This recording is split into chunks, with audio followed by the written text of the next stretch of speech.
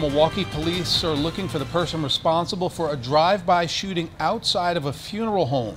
Seven people are hurt. Milwaukee's Mayor Tom Barrett says everyone was taken to the hospital. No one has died at this point. The owner of the funeral home says there were hundred mourners there when the shooting happened. They were there for the funeral of Braxton Taylor, a 26-year-old shooting victim.